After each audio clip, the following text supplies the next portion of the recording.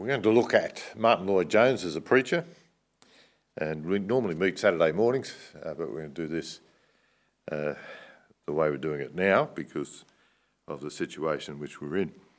Uh, so it's Martyn Lloyd-Jones, uh, and I'll spend the, the first hour or so uh, on his life and his controversies, and uh, then have a quick look at some of the aspects of his preaching, and I hope to spend the next hour uh, there'll be a break in between uh, on him as a preacher. So we'll see what we learn from him, whether you're a preacher or not.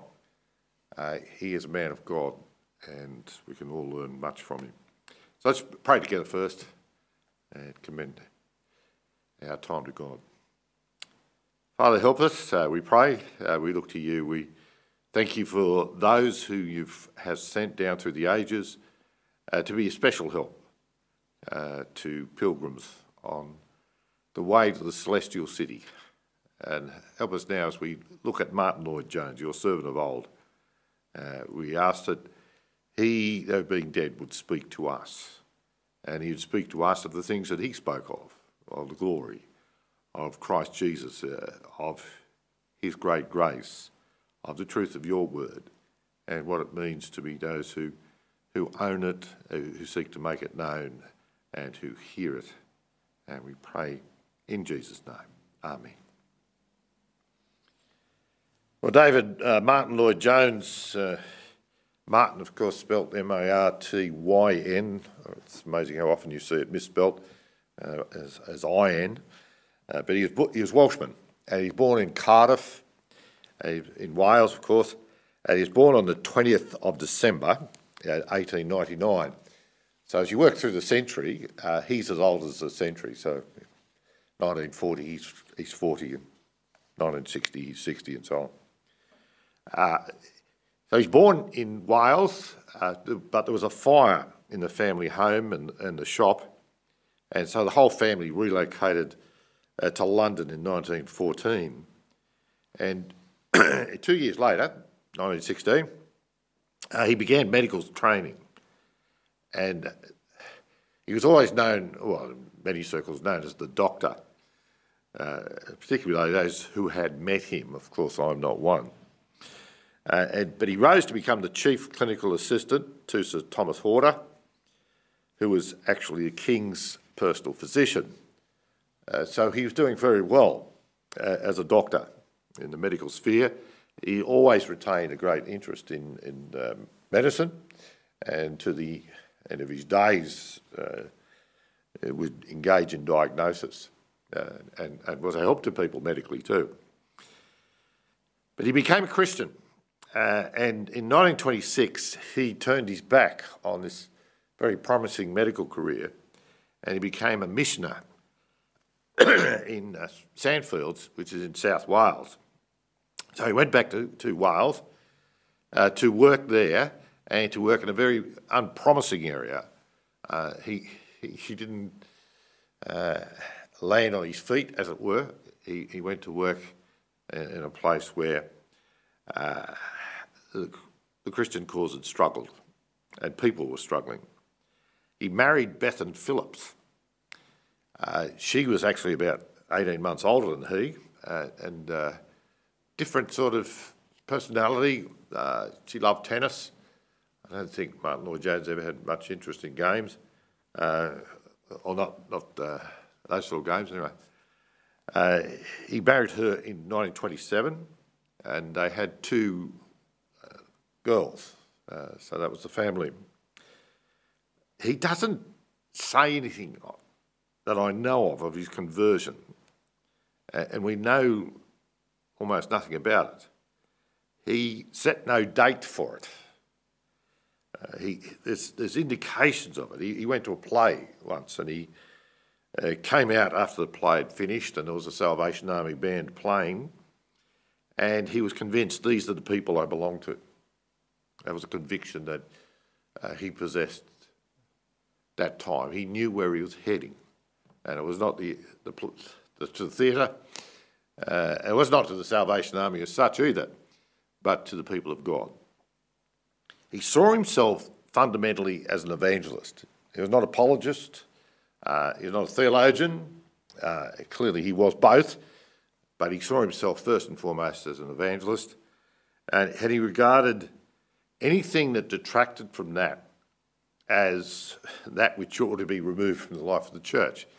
Uh, he lived in the age where Band of Hope uh, ministries were, were, very strong, and it was often regarded as part of the evangelical culture to have a Band of Hope where people would sign up, uh, would sign a pledge uh, that they would be total abstainers from alcohol. Uh, he regarded those ministries as a waste of time.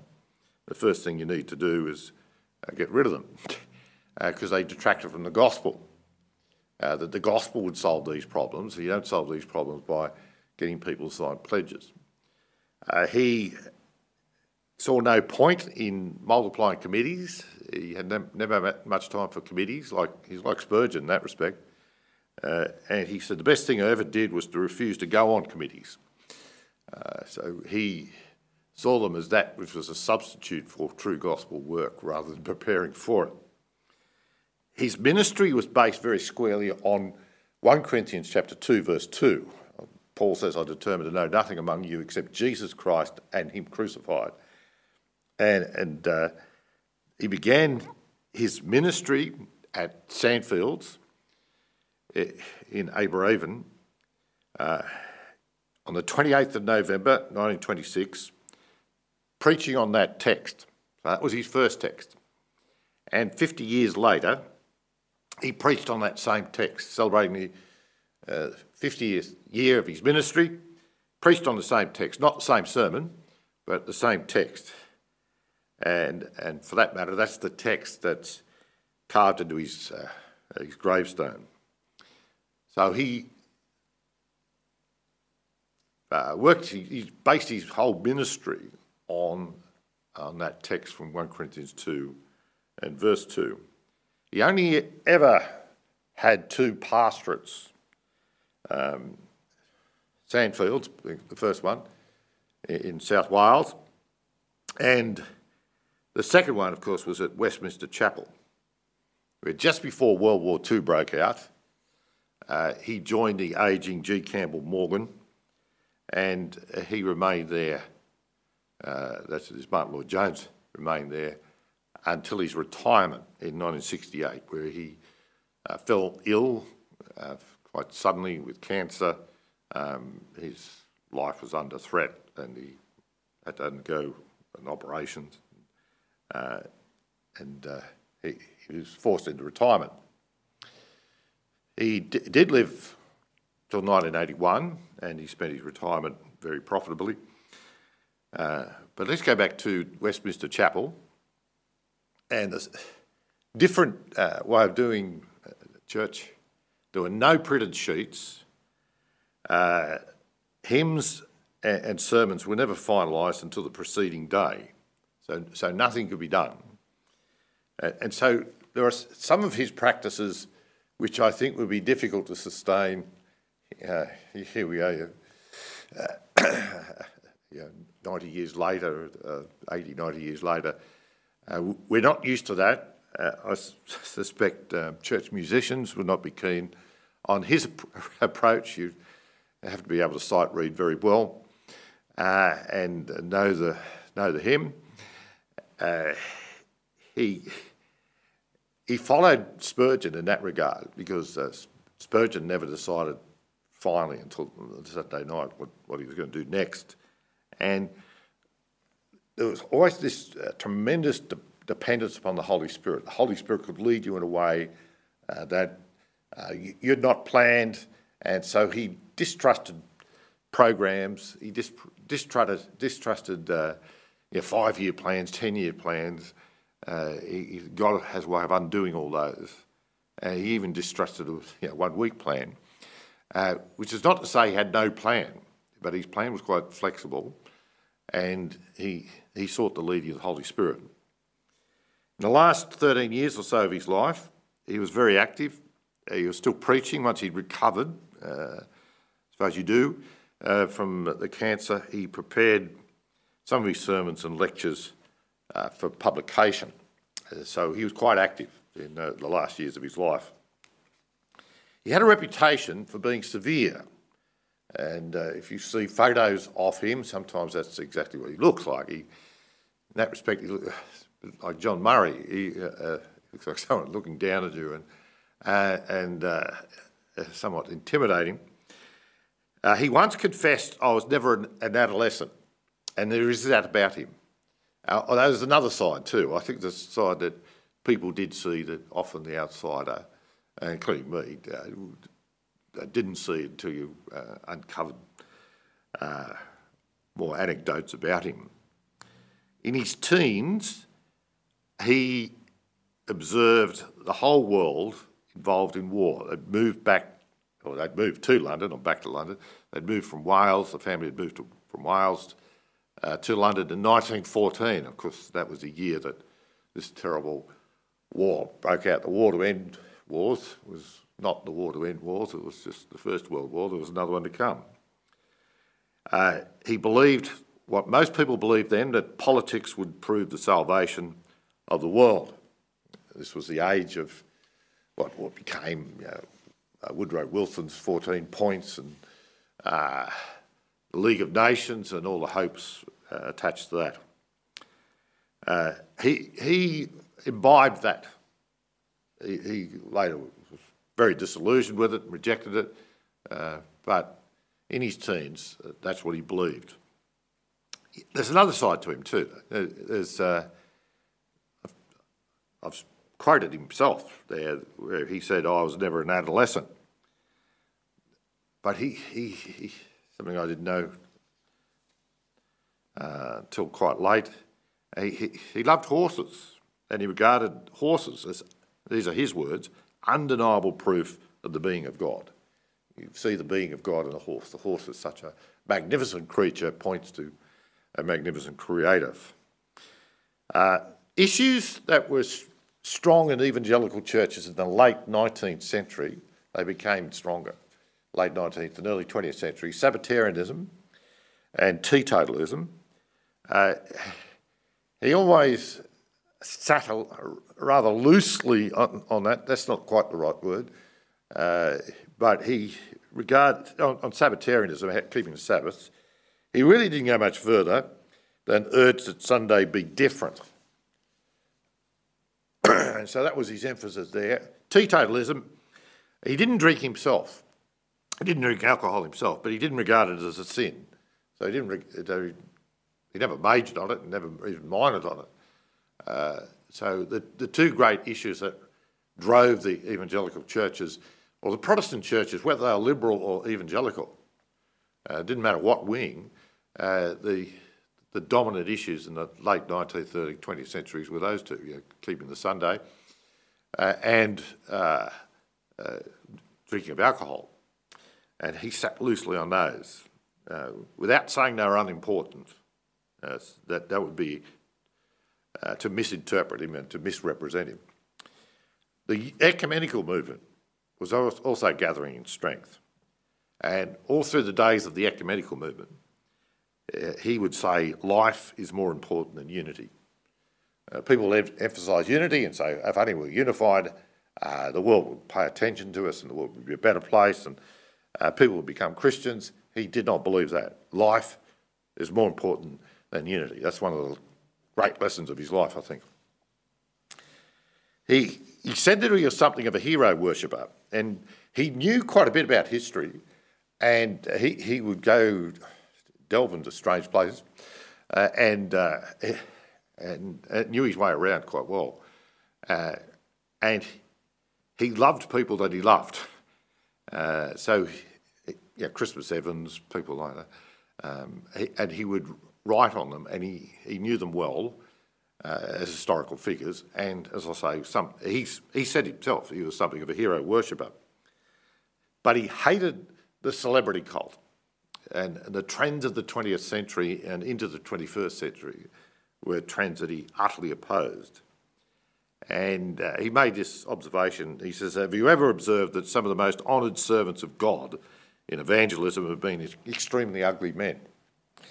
and, and uh, very confronting uh, to an evangelist, uh, to preachers, but uh, and very counterintuitive, where Uh, this is the age of presentation. This is the age where things are polished. This is the age where things are, are, are well presented, and you don't want an ugly preacher. And, and Lloyd Jones is saying, well, the opposite is true. God has, down through the ages, used very ugly men. He, he detested publicity campaigns, uh, uh, particularly a man-centred publicity campaign that was utterly abhorrent to him. Uh, in 1974, uh, he preached for John Davies in Bethel, Clydach, near uh, Swansea, and uh, he, he reported this, that we had a public meeting, preaching meeting, on the Saturday evening, but he strictly asked me not to advertise his presence on the Sunday so he could be free to minister to our own people. And the church profited immensely from his visit. Now, his thinking there was uh, I would turn this into a, a, publicity campaign for Martyn Lloyd-Jones so people come along and listen to him. Uh, they came on the Saturday, but Sunday, the worship service gathered together. I want the people of God to gather together. Now, whether you agree with his thinking or not, what drives it, what motivates it, is this uh, abhorrence of uh, a publicity campaign and a centering on on the human being is what it's all about. He says, no, it's about God. Uh, he knew depression, although not very often. I wouldn't say he's a depressed character at all. Uh, quite the reverse. I think underneath there's a, this strong stability and even uh, joy in uh, in his life, his, his Christian life. But he, he knew a period of depression in 1949. He understood this later as a result of overwork. Uh, he was simply exhausted and uh, a satanic attack. And humanly speaking, it, it, was reading Richard Sibbes' A Bruised Reed. He always loved that, and I'll commend that to you. It's a wonderful book. Richard Sibbes, A Bruised Reed, and uh, the word glory. If you've uh, heard or listened to his, uh, or uh, read his sermons, you know how much he loved the word glory. And uh, that brought him through it. Sibbes and pondering, meditating on this word, glory. And he saw later that he believed that a close friend of his was actually a foe, and uh, that distorted his thinking for a time. He just all his thinking was dislocated and, and distorted, and uh, he wasn't seeing reality for what was. He became involved in a number of controversies. Uh, I mentioned three here, but uh, we could say there were more. There are always more, aren't there? Uh, but the three best known ones, uh, well, the first one is to do with the Billy Graham Crusade. 1954, Billy Graham came to the, the United Kingdom, came to London. Uh, it was the Harringay Crusade in North London. And Billy, uh, Billy Graham, the Billy Graham Association, had asked Martyn Lloyd-Jones to be chairman of that crusade. Martyn Lloyd-Jones met Billy Graham, but Martyn Lloyd-Jones refused to be the chairman of the crusade unless Graham agreed, agreed to two conditions. And these were the two conditions. Now, the first one was that there would be no non evangelicals, Roman Catholics or theological liberals on stage with Graham. Now, of course, they could turn up, uh, they could be there to hear him, but they were not to be on stage with him, they were not to be in official leadership positions, and inquirers or converts, whatever they were at the end, were not to be sent to their churches. So it's really a, a working out of, say, Machen's uh, Christianity and liberalism, that they don't belong together. Theological liberals are not uh, naughty members of the family, but they're still part of the family. That's not it. They're not part of the family. They have a different gospel, and it's not the biblical gospel. And so that, that was the first condition that uh, Martyn Lloyd-Jones set before Billy Graham. And the second one was that he would not use the invitation system. Uh, Martyn Lloyd Jones always regarded this as doing more harm than good. He, he wasn't saying, of course, that, that nobody was ever converted through the invitation system, but he, he said it was far more likely to produce people who thought they were Christians but weren't than it would uh, produce genuine Christians. There were so many who walked forward who had not heard the gospel. They might get converted later. It might be part of their journey, but it, it confused things right back at the beginning uh, to use the invitation system.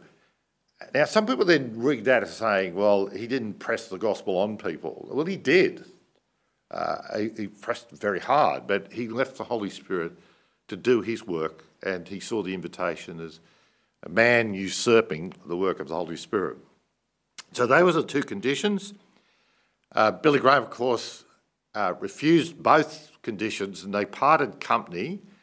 Uh, Billy Graham was assured that uh, Martyn Lloyd Jones would pray uh, for the crusade, and he, and he did, and uh, remained as friendly as he, as he could. Um, but there, there was a, a difference there, a highlighted difference between two versions of the evangelical faith. Yeah, so that's, that was a controversy. Uh, and as Billy Graham increased in popularity, that, that became one that would come back to, to, uh, to Martyn Lloyd Jones, uh, particularly because of uh, people like John Stott being so close to Billy Graham, but also close uh, geographically, proximity uh, to Martyn Lloyd Jones, and this whole issue of evangelicalism being identified with Billy Graham. You think evangelical, you think Billy Graham. Uh, that's not how Martyn Lloyd Jones thought. He was not hostile to Graham. He, he didn't attack Graham, um, but he did indicate his difference from him. So that's the first controversy. There was a second, I'm only picking out three main ones. Uh, the second controversy that we're looking at is uh, that which came in the early 60s. Lloyd Jones very much longed for revival. He, he saw conditions as very serious and in, in a sad state of declension. And he urged prayer for revival and he rejected cessationism.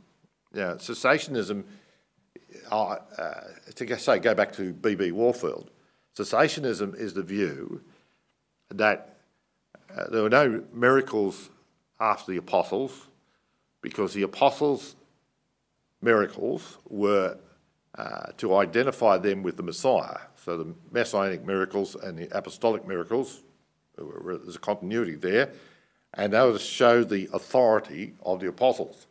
Once the apostles die out, there's no need for them, and claims to miracles since then are, are fraudulent, they're hoaxes, uh, they're counterfeit miracles. Now, Lloyd Jones never held that view, and uh, he sought a greater work of the Holy Spirit. Uh, and those two views became connected. He rejected cessationism he, and uh, he, he looked for revival. He, I think he says some unguarded things uh, on the sealing of the Spirit, for example, in 1 Corinthians, uh, in Ephesians uh, chapter 1 and, and verse 13, where I think the context is obvious that every Christian is sealed by, uh, by the Holy Spirit. But he would, he would tend to identify the baptism of the Spirit, the filling of the Spirit, and the sealing of the Spirit as, as, as experiences which could come after conversion. So he didn't believe in a second blessing. He believed that it could be a second, third, fourth, fifth, sixth, as many blessings as God was uh, to bestow upon us. Uh, it could be a hundred baptisms of the Spirit uh, a, that uh, a Christian might enjoy. And the, the, the, New Testament is not watertight, if I'm use that word, uh, on the distinctions between these, uh, you know, the baptism of Spirit, certainly the Spirit, and uh, filling with the Spirit. But I think that there is more of an order than than uh, Martyn Lloyd Jones thought. Um, the baptism of the Spirit is identified with conversion, surely in 1 Corinthians 12. Uh, you're all baptised with the Spirit, in verse 13. Uh, so he's not seeing there's two classes of Christians or three classes or whatever. Uh, that if, if, a person's a Christian, he's baptised with the Spirit, and that would fit in with um, the promises uh, that are fulfilled with the coming of the Spirit in in Acts two. All those promises in the Gospel. The, uh, I baptise, says John the Baptist, with water, but he, he the Messiah, the coming one, baptised with the Holy Spirit. And that happens at the day of Pentecost. Uh, the filling of the Spirit seems to, to come and go, doesn't it? Uh, uh, this experience. And uh, sometimes words to seek it, to seek the filling of the Spirit, and sometimes uh, a preacher will get up uh, and, and he'll be filled with the Spirit. And it seems to, that this is an experience that just comes upon him or her. so that, that doesn't seem to be quite the same thing. Sealing with the Spirit, as I mentioned earlier, seems to be something that uh, all Christians have. Now, a lot of controversies get out of hand, and this got somewhat out of hand. Uh, the charismatic movement was just starting to, to uh, emerge in, in, mainstream churches, sort of variation of Pentecostalism. And Lloyd Jones was often seen as a, a friend of the charismatics and the Pentecostals. I, I don't think Peter Masters was being very helpful uh, when he saw Martyn Lloyd-Jones's views simply as a capitulation to Pentecostalism. Uh, I don't think that's a helpful way of looking at it.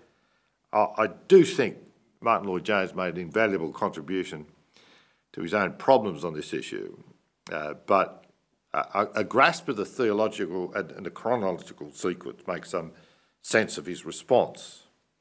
Uh, uh so probably fair to say that identifying the baptism of the Spirit with filling uh, with the Spirit maybe confused the terminology.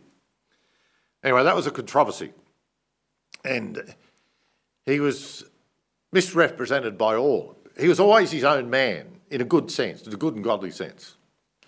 Uh, not, not in a bad sense. but he, he, he was quite prepared to go his own way if he saw that was a biblical way. But anyway, that was the, the second controversy. And the third controversy uh, dogged him uh, in his last years, but it concerned his views on separation. And again, uh, somewhat misrepresented uh, in certain places, but uh, in some sense, understandably so.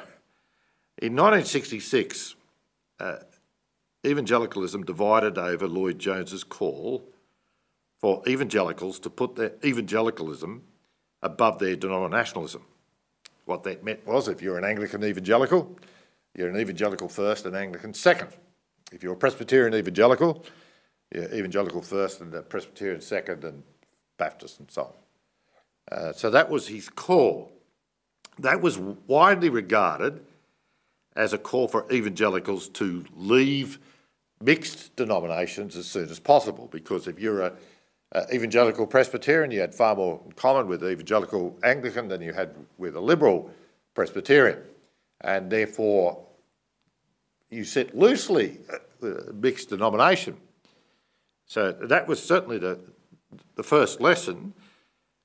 but as I say, it was, it was regarded as a call to leave mixed denominations uh, almost immediately. That's not quite what he said, uh, but it would head in that direction.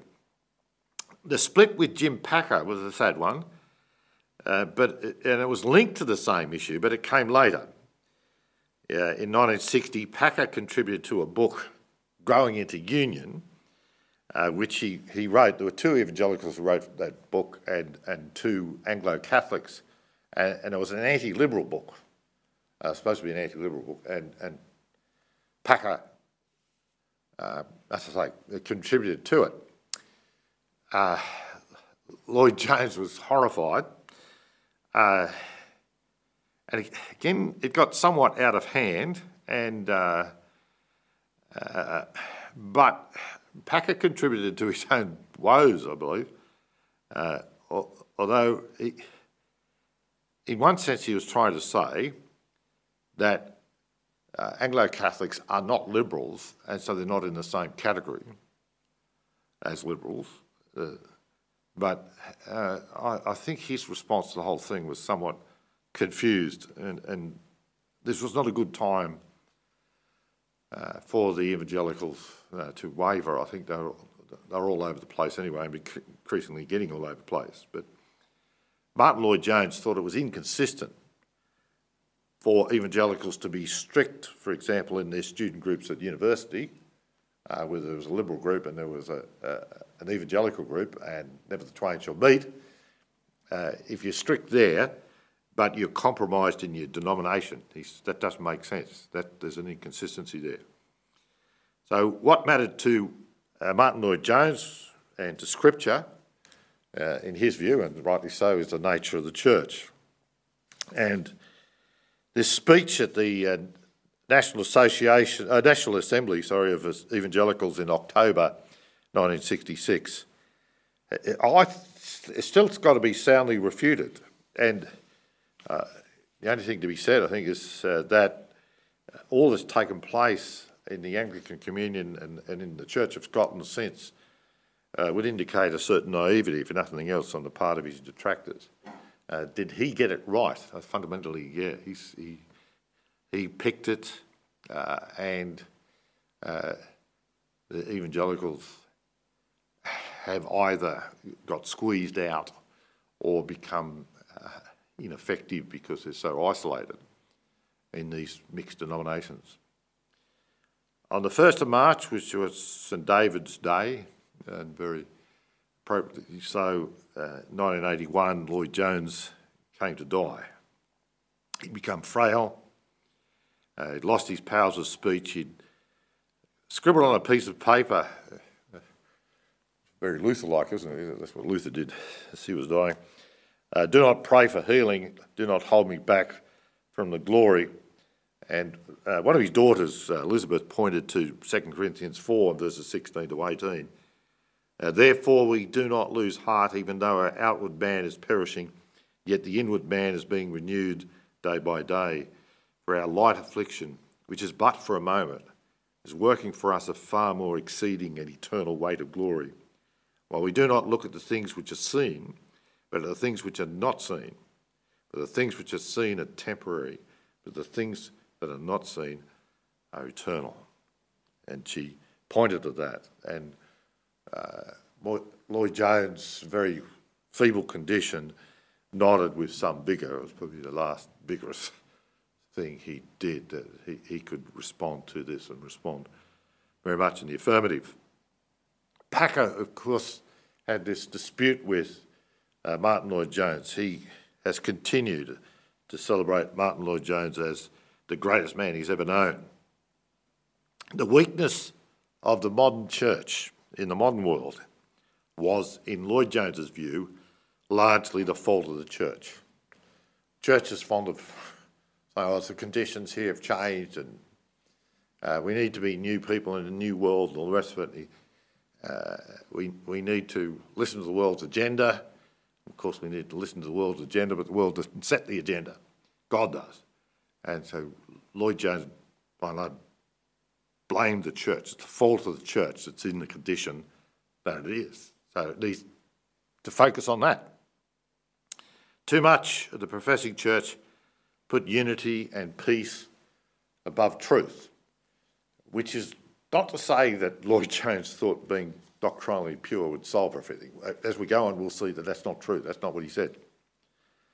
But he said, Nothing so surely drives the world away from the truth as uncertainty or confusion in the church with respect to the content of her message. Now, that, that's something of his life and his controversies. This, let's now just introduce something uh, to do with his preaching, say a few things, and then, uh, God willing, next hour say some more things about Lloyd Jones as a preacher. Some of the characteristics. He, he, he said this, I've always found this most moving. He said, I gave up nothing. So when people said, oh, here he was, he, he was Harley Street specialist, uh, he had his future mapped out in front of him, and what a wonderful future that would have been, and met with all uh, people of high society, and could have had an influence on them. And so, but he gave all that up, and he said, I gave up nothing. I received everything. I counted the highest honour that God could confer on any man to call him to be a herald of the gospel. So that, that was his view. He said, Preaching is the highest and the greatest and the most glorious calling to which anyone could ever be called. He also said that he wouldn't cross the road to listen to himself. uh, so uh, he had this exalted view of the preacher. The, the preacher is declaring the word of God. This is God Himself. This is not Parliament legislating and compromising and doing what parliaments do. This is the declaration of the truth of God, uh, but uh, not to listen to yourself. Uh, he's also opposed to a critical study of sermons, which is rather discouraging for what I'm tr- trying to do now. If I look at him, uh, we'll get to it, look at him as a preacher. Uh, he did give lectures on preaching and preachers, which is a wonderful book. Uh, I think perhaps Stuhlgart is the best book on preaching I've read. Uh, there's other good ones, but uh, he did, yeah, give those lectures. So we're not always totally consistent, are we? But he, he, he disliked a critical study of, of sermons in the sense that it, it, was a wrong spirit in which to approach the Word of God. So someone is proclaiming the Word of God, and, and you're trying to pick up errors, and uh, it's, you're not, it's not a worshipful spirit. Uh, and it's not a performance. Uh, it's something far greater than that. And that's what he disliked. He considered the practice of publishing sermons had done much harm to preaching. I think that's probably a throwaway line, uh, that there was some truth in what he said, but I think he's sometimes he's guilty of a preacher's exaggeration, and that might be one of them. Uh, but what he was, again, pitting himself against was uh, the, the wrong sort of study. You, you, when, when you're reading a sermon, same with online preaching, you know, there's a pause button, there's, there's a delete button, there's fast forward. Uh, when you're reading a book, you've got more control over the book. And, and uh, he thought that the Holy Spirit uh, it could, could speak through anything, of course. He spoke through Balaam's donkey. Uh, and so he could use any means he wanted. But uh, he, he he disliked taped sermons in the, uh, the age of cassettes or whatever. In the car, and he and when the journey's finished, you stopped and then you picked it up again. He thought that was disruptive of the work of the Holy Spirit. That was you know, dampening the work of the Spirit. And I think we can see what he means and see the dangers, but uh, there's also great blessings that came from it, surely. But anyway, he, he, he thought the practice of publishing sermons did harm because you, you might have, say, 15 minutes time to read and then, and, and if the Holy Spirit was convicting you, well, what do you do next? Well, you've always, always got that problem, uh, now, what he said of Wales uh, is true of the West as a whole, in fact, for all the world. He wrote this, he, preached this.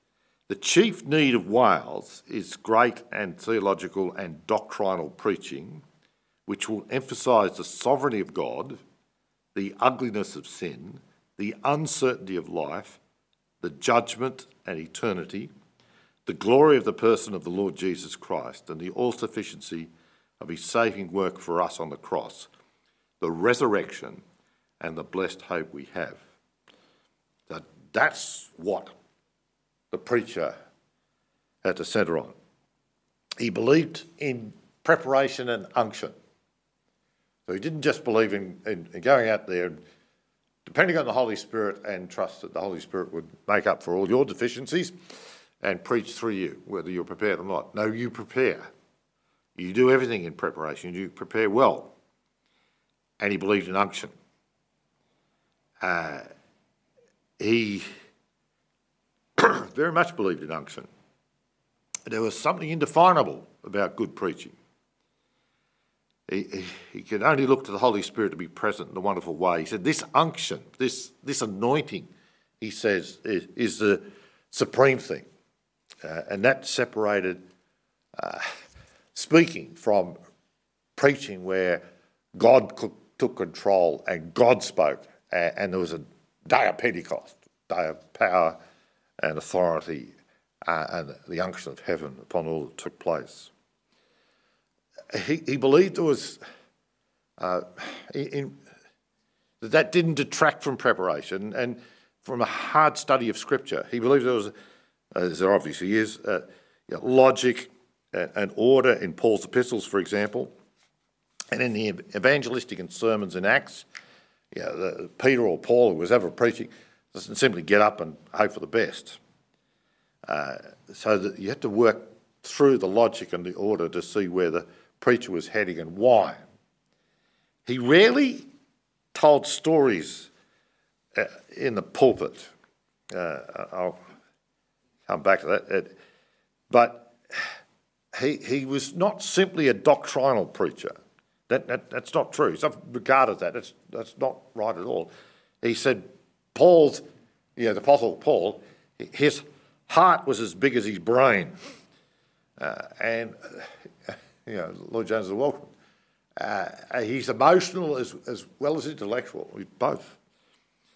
Uh, so he's, he's not a preacher of doctrinaire reform theology, and uh, he did preach reform theology, but not in a, a doctrinaire way, uh, not in a way that was not aimed at the affections. He did aim at the affections. He said, I spend half my time telling Christians to study doctrine, and the other half telling them that doctrine is not enough. So he was double sided in a good way. Uh, he, he could express himself in, in a startling way sometimes. He, he thought that Calvinists needed Methodism uh, because Calvinism uh, could become ossified and, and they could lose, Calvinists could lose their warmth and graciousness. Uh, Methodists, of course, needed some uh, doctrinal buttressing, so he thought the two needed each other. Often said that he was a man of the 18th century, not the 17th. The 17th century produced the Westminster Confession, uh, which Lloyd Jones admired uh, and uh, signed in, in, in a sense, uh, and, and wanted people to adhere to. Uh, but the 18th century he thought was greater because the evangelical fervour and emotion of the revival of that century resonated more with him than the doctrinal position of the, of the Puritans of the 17th century. Now, don't make it either or. it, it, uh, he's speaking in general terms of two different centuries, succeeding centuries, and he's appreciating both. He's very much, he's a Puritan, it's Richard Sibbes who brought him out of the Depression, humanly speaking, in 1949. Uh, he's a Puritan, he's 17th century, uh, but, but he very much delighted in someone like George Whitefield uh, from the 18th century. And, and he saw uh, churches respond to theological aberration in, in the wrong way, in the sense that they simply became doctrinally precise. And that by itself is insufficient. He says, uh, these are his words, a church can be perfectly orthodox and at the same time perfectly dead and perfectly useless. Uh, so he was not holding back there. He disliked choirs. That first thing to do with the choir is get rid of it. Uh, he disliked children's addresses. Uh, he always thought children should understand uh, the, the sermon. After a certain age, that, that that's when that they would get more from that than uh, children's addresses. Uh, he disliked the invitation system. He disliked anything that smacked of entertainment. You're not there to entertain. Um, quirky, even erroneous views could sometimes be expressed. I'll, I'll pick up a few here. In, in a sermon delivered in 1933, he said quite vigorously that all sins are equal in God's sight. All sin is sin to God and miserliness is no worse than drunkenness. Both are equally repugnant to him and equally to be punished. It is we who classify sin, not God. To him, all sin is sin. Uh, so that's what he said in the sermon. No, no, that's fairly obviously that's not true. That's not how the Bible deals with sin. um, Jesus says to uh, Pilate, he who delivered me over to you has the greatest sin. You know, take Caiaphas is the greater sinner than, than Pilate. Uh, the Old Testament sets up different punishments for different sins. Doesn't treat them all as the same. Uh, later in his sermons, John 17, uh, Martyn Lloyd-Jones was rather more measured and biblical, I think. He declared of Christ, sin is to look away from him, to be interested in anything that the world could give rather than in him. Oh, if it is something foul, it is ten times worse. But the best that the world can give me is an insult to him if I put it before him. That's a better way of putting it. Uh, he noted the difference between the modern Reformed service of worship and the more communal and varied nature of that recorded in 1 Corinthians 14 26 uh, to 31. Uh, having said that, he would say things like that, but uh, I don't think there's any evidence at all that, that uh, he made much attempt to implement that at Westminster Chapel. Um, so in, in 1 Corinthians 14, you know what he's referring to. Verse 26 says, Ours are brethren, when you come together, each of you has a psalm and a teaching and a tongue uh, and a revelation and an inter- interpretation. Let all things be done for edification. If anyone speaks in a tongue, let there be two or at most three, each in turn and then let one interpret. There's no interpreter. Let him keep silent in church and let him speak to himself and to God. Let two or three prophets speak and let others judge. Anything is revealed to another who sits by it, let the first keep silent. For uh, you can all prophesy one by one, that all may learn and all may be encouraged. Now, he takes note of that, but, but he doesn't translate that into, oh, we'll have, say, three preachers and, and one after the other. There's no real attempt at Westminster Chapel to, to implement anything like that. Uh, Ephesians 5, uh, he saw marriage as a spin off from the main thrust, which is the believer's relationship with the Lord. I think the context says it's the other way around. Ephesians 5 is on uh, family and day to day living, and he uses uh, the believer's relationship with the Lord as an illustration of that. Now, the, uh, the context is telling you that Martyn Lloyd-Jones, I think, was got backwards. He, he delivered five sermons on revival on, uh, on Genesis 26 and, and, verses 17 and 18. And uh, they're, they're great sermons. I don't know they've got much to do with the text, but, but they are great sermons. Uh, so Isaac departed from there and he pitched his tent in the valley of Gerar and, and dwelt there. And Isaac dug, dug, again the wells of water which they had dug in the days of Abraham, his father, uh, for the Philistines had stopped them up after the death of Abraham. And he called them by the names which his father had called them. So it was all about uh, removing rubbish first, and, and uh, then the blessing of God would come. I'm not sure it's got much to do with the text, but as I say, they're, terrific sermon.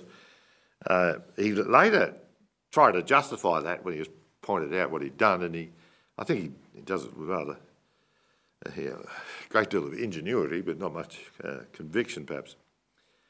I've never been able to understand uh, his view of Romans 7. Romans 7 there's an argument about whether Paul is referring to himself before he was a Christian uh, or after, and, and, now we've got variations on that, where he's referring to um, Israel, uh, himself personified, Israel personified as a person. It's all variations, but Romans 7 is the conflict passage. We know that the law is spiritual, but I am carnal, sold under sin. What I am doing, I do not understand. For what I will to do, that I do not practice, and what I hate, that I do. Verse 19 uh, For the good that I will to do, I do not do. The evil that I will not uh, to do, that I practice. So it, there's, at face value, Paul divided uh, against himself. And he, he adopted what I think is a strange view, and I, I'm not sure it's even understandable at least not to me, uh, that Paul was describing a, a non-Christian. And he, he says that uh, Paul is, is not referring to himself, but to one who is not fully regenerate. Now, I'm sure what that means, uh, but one who struggles without the Spirit, and that shows us that the law cannot sanctify us.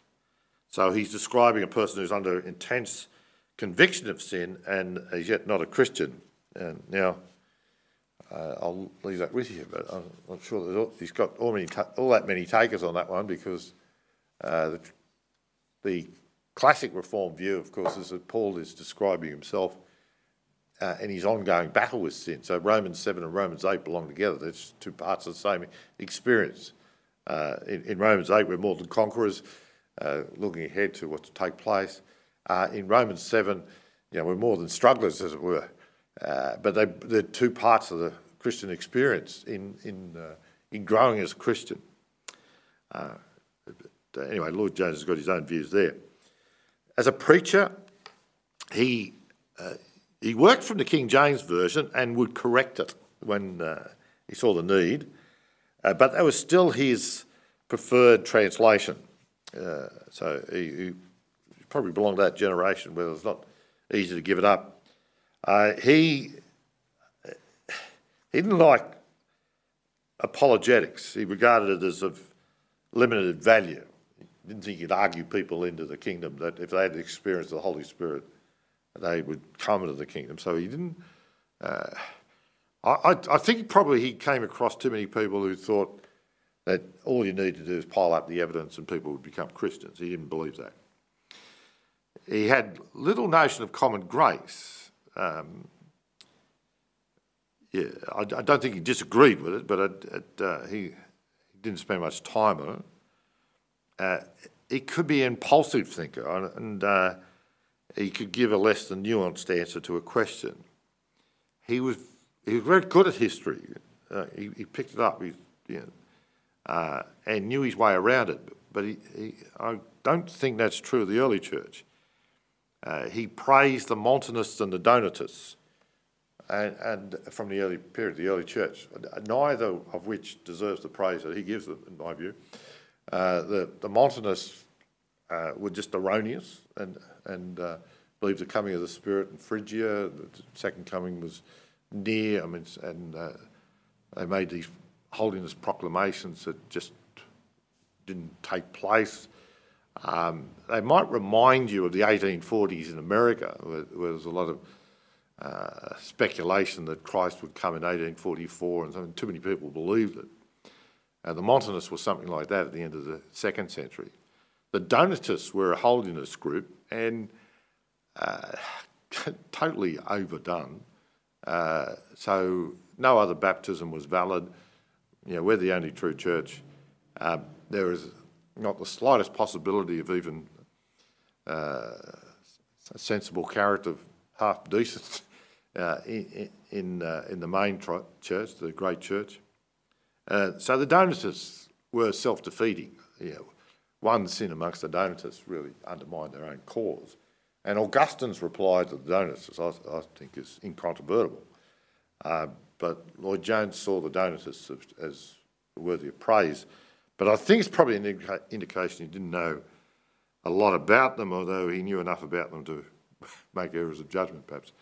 That's not uh, a statement I shouldn't make, but anyway. Regarding public policy, he says it's no part of the business of the state to defend Christian truth.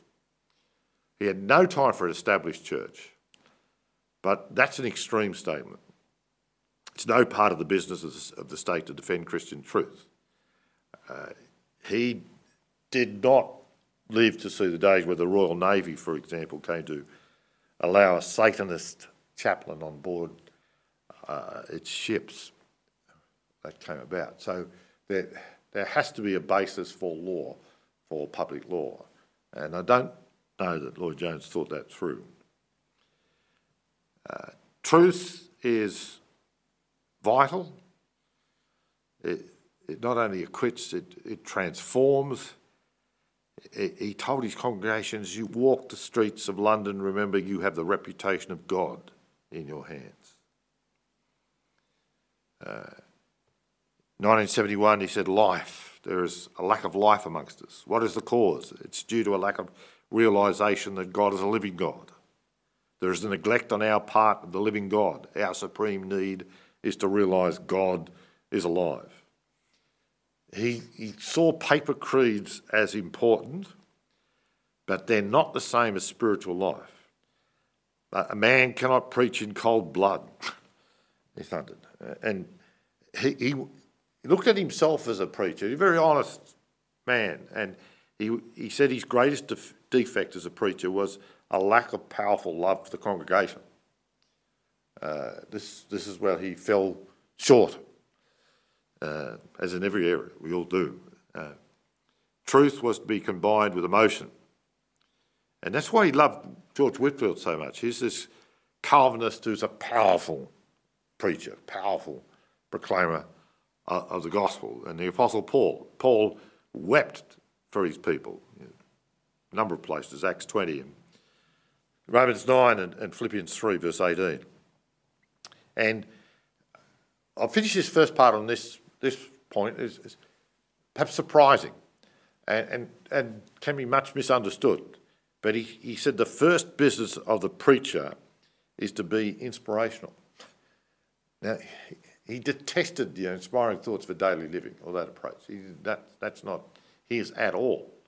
Uh, tr- but he, he wanted truth to be inspiring and to gather people t- together, and, and the, uh, the mind is caught up with the affections and it's unified.